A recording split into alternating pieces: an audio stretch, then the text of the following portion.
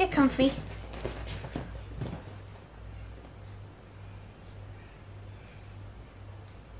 Are you, you just gonna sit there? Oh, hi. Oh, hello.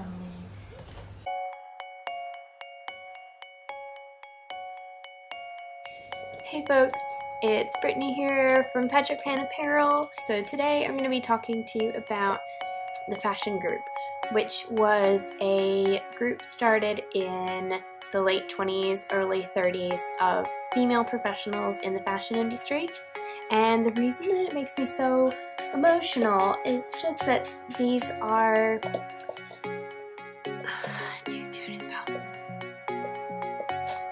Um, there's some incredible stories of some really amazing women who would have had to fight through a lot and deal with a lot to progress in their careers and never really ever received the um, never really received the attention the acclaim that they were due um, so it just women are just amazing and these these women in particular that we're going to talk about today just blow my mind. Um, so I love learning about them. They make me feel empowered. Uh, if they were able to go through the things they did, then, you know, I feel like I can go through what I'm going through today. So, um, yeah, let's talk a little bit about the fashion group. So the fashion group was first kind of brought together in 1928. The idea for the fashion group was allegedly brought up by Edna Woolman Chase, who was the editor of Vogue.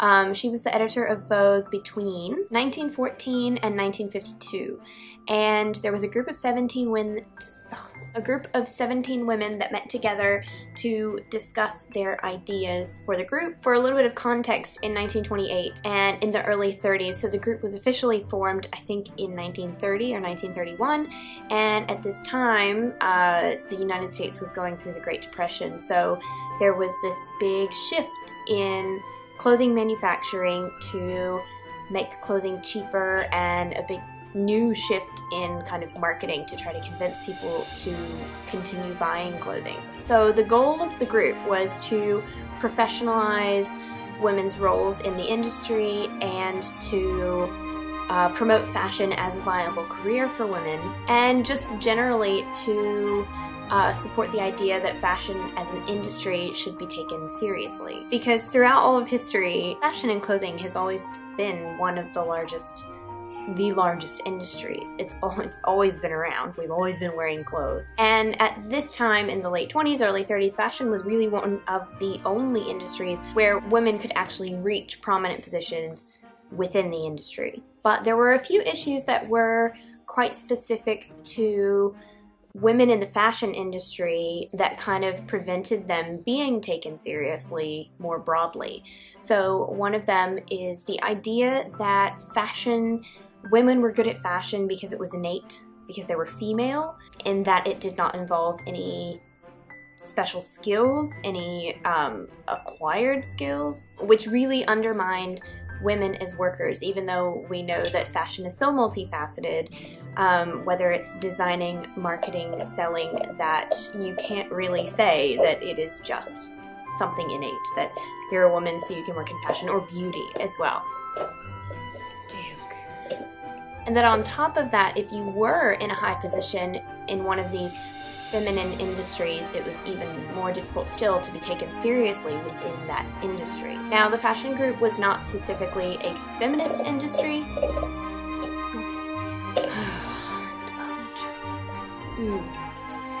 oh, it is a, uh, a rainy day here in Brisbane, and I wish that I could say it was cozy rainy day and I was snuggled up with a cup of coffee, but it is a hot and humid rainy day and this is actually an iced coffee to try to keep me cool. Oh, you can see how shiny I am. It's hot. It's so hot. I think I've complained about the heat in every single one of my videos that I've made so far. so even though the fashion group did not claim to be a feminist industry because during this time in the early 30s, it was a little bit of a tumultuous period for the feminist movement. Estelle Hamburger, which was a great name, by the way, who is a fashion consultant in New York City. She wrote a lot of books about the fashion industry, quoted about the fashion group that it was not a women's movement, but a movement of women who held jobs for which they had been chosen by men because women would be likely to know more about women's clothing than men.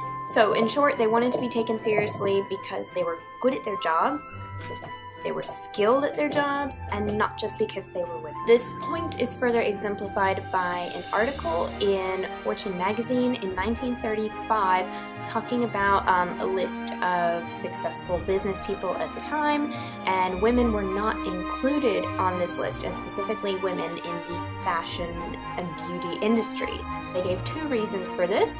One was that women were less likely to be involved in vital industries, things like railroads and construction. And two, uh, I'm going to quote it because it is shockingly harsh. Uh, Fortune magazine did not regularly publish such strong opinions in these types of pieces, but quote, I'm going to read this to you from my computer.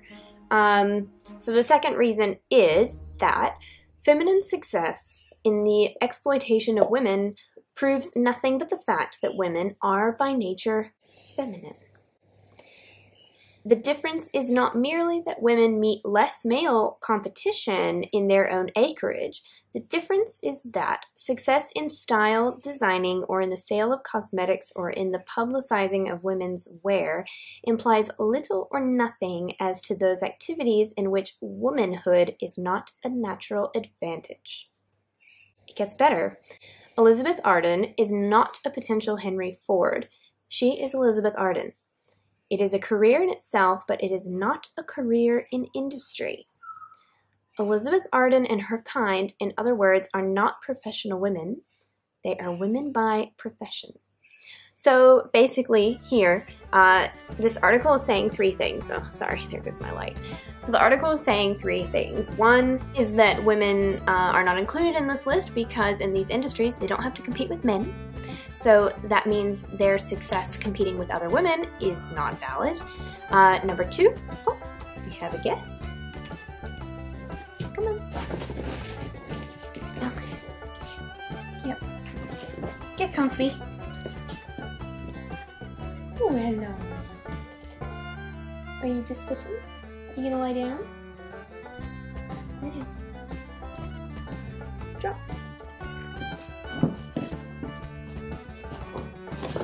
Oh my goodness, what a process. oh, okay. Alright. I guess Duke will be joining us. So, I don't even remember what I was talking about so that women were not included on this list because they don't have to compete with men. Two is that women are only good at fashion because they are women, and so naturally they understand the entire fashion industry from design to marketing to production. Well, actually, production is not something that women were involved in. Manufacturing was still largely controlled by men at the time, so they weren't even really including that as part of the um, industry non-vital industry that women were involved in. Number three, what this article is saying is that fashion is not important anyways, um, and these beauty industries are not important anyways. And I think a lot of these factors we often still we often still deal with today, um, especially a lot of women who are involved in different types of beauty therapies, fashion designing. Um, it can sometimes feel really hard to be taken seriously. I've even experienced this a little bit myself with my fledgling little business baby. Uh, one thing that this article doesn't mention is any of the men that uh, these women were actually competing with. So Elizabeth Arden was competing with men who owned and ran companies like Max Factor um, and Charles Revson as well. So they were competing with men in all of the male owned and led design houses that women were competing with as well. They just conveniently forgot that point. An amazing quote by Rebecca Arnold, who wrote the book The American Look, the source I'm getting a lot of this information from, she says it also demonstrates by its very exclusion just how hard it was for women to be taken seriously inside a feminine industry and in the wider business world. Also, Rebecca Arnold, thank you so much for writing this book. If you're watching this, thank you. Thank you, thank you. So the fashion group basically had a few different initiatives. They met together regularly and they would have talks. And they would have talks from people ranging from fashion experts visiting designers or couturiers from France to keep them updated on what was happening in French fashion because at the time that was very, very important. They also received talks from, I believe, politicians, things like psychology and marketing, consumer behavior, anything that they thought would um, enhance their knowledge of of pop culture and society in regards to their industry. There was even once a discussion of sweatshop labor. And according to Rebecca Arnold's book, the records that they do have of these men who would come and give talks on these various topics apparently felt really awkward being in the presence of such powerful women because a lot of these women were editors of large publications, presidents of department stores, so apparently it is reflected in the manuscripts or the transcripts of these talks. In 1935, they started introducing the fashion futures shows where they would do reports on current trends and kind of begin trend forecasting to help progress one another's businesses. So it wasn't like they were trying to keep all of these secrets for their one design house. They were actually sharing this information amongst the entire industry in New York. The fashion group, even before World War II, they were pushing for America to become a fashion power. So at the time, French fashion was where it was at. French designs had complete prominence over any other type of design, and American fashions were seen were seen as kind of maybe uh, like cheap copies or kind of. I get the sense that it was even seen as kind of like hokey and not really the real thing. So they had been pushing for New York to be one of these fashion centers because it was already a growing center for mass manufacturing of clothing because during the Great Depression, um, they had to start manufacturing clothing more cheaply and efficiently to keep their customers, um, to keep providing customers with affordable clothing throughout the Great Depression. So they were already building the system which contributed to uh, New York later becoming a successful ready to wear center. So during World War II, when France was occupied by the Germans and Paris was occupied by the Germans, obviously there were no fashions coming out of France at that time. So they not that they took advantage of a global crisis for their benefit, but they really saw that this was the moment for American designers and American fashions to step up and assert themselves as an independent source of fashion and design. So they began through publications, through marketing and merchandising at department stores, really associating American designs and designers with this sense of patriotism, which was obviously quite a binding sentiment during World War II. So they really were able to capture this and associate it with American fashion, which in the end, after World War II, was done so successfully that they were able to establish and maintain New York with this sense of the American look and center of American fashion. This was done alongside of many other tactics, not just the sense of patriotism, but in the end they were, as we can see today, successful in installing New York as the fashion capital that it is today. And this wasn't all the fashion group was up to during the war. On March 1st, 1942, Vogue published a speech by Edna Woolman Chase given to the fashion group talking about the role the fashion group played in the war effort. So she says, we are looked to, you and I, in our special capacity as working women and as leaders in a tremendous industry by thousands of businessmen, great and small, by hundreds of thousands of people working in those businesses, and by millions of other women all over America, for whom it is our duty to provide some kind of leadership, some kind of code, some kind of advice, and even in a sense, some kind of wartime dress etiquette. Fashions do not die because of wars. Many of the best of them are created by war's necessities. They could not be fashions if they did not conform to the spirit and the needs and the restrictions of the current times. I have noticed that in some quarters since America entered the war, there are people in the fashion business who seem almost to feel apologetic for the very term fashion. They think perhaps that any talk of fashion is too trivial for days as dark as these. All of a sudden, they find themselves acting and sounding and even feeling a little ashamed of their jobs. All of a sudden, everyone around us seems to be doing something vital and important. When they ask us of the fashion industry what we do, a peculiar defensive note creeps into our voices. We wonder will they think we're frittering our time away on non essentials while the world is in flames?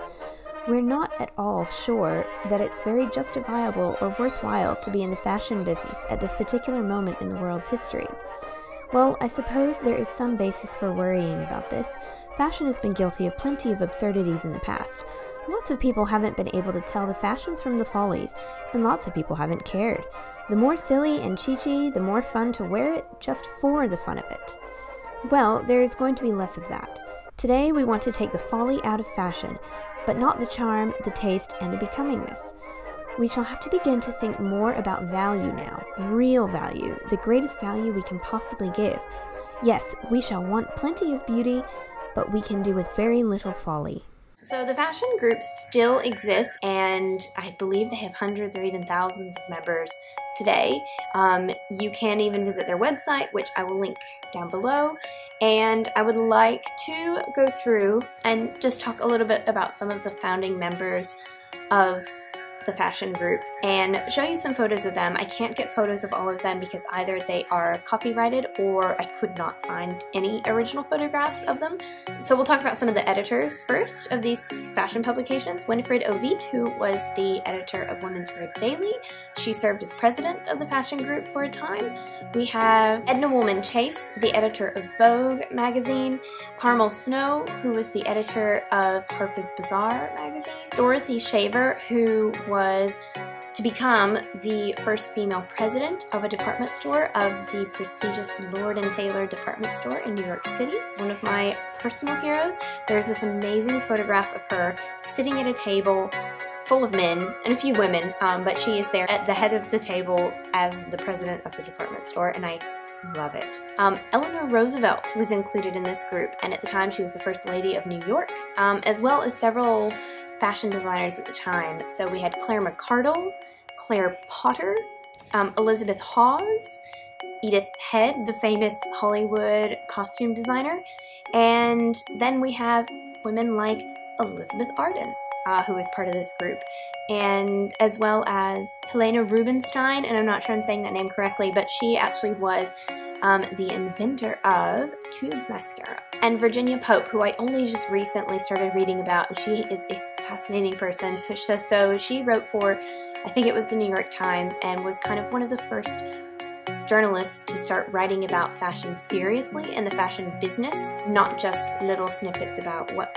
things were trendy, but kind of talking and writing about the fashion industry as a whole. So I hope you've enjoyed this little snippet of learning about the fashion group. These women are incredibly inspirational to me and had they not achieved what they achieved, we wouldn't be where we are today. They were a group of badass business babes. Babes supporting babes. I just love it. I just love it. It seems a very silly thing to get emotional about. But I, I think because of my own experience now, trying to start my own business, having this little network that I have personally of other women um, starting their own businesses. I just know how much that has affected me. I'm not crying, you're crying. I hope you learned a little something from this video, and more than anything else, I hope it inspires you to go And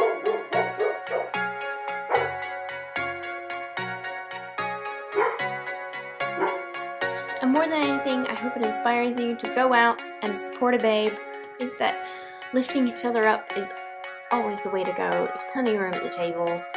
And thank you so much for watching. I'll see you in the next video. Bye. Support your friends. Don't tear them down. Give them some love. Yes.